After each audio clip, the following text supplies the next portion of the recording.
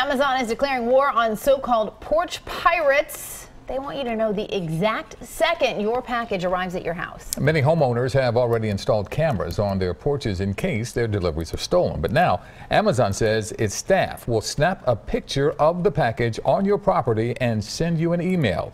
Authorities say that's a step in the right direction, but customers shouldn't take any chances. There's been a definite increase in porch piracy in general. There are a lot of other technological advances that are happening. If that delivery is coming in, make sure you're tracking that package.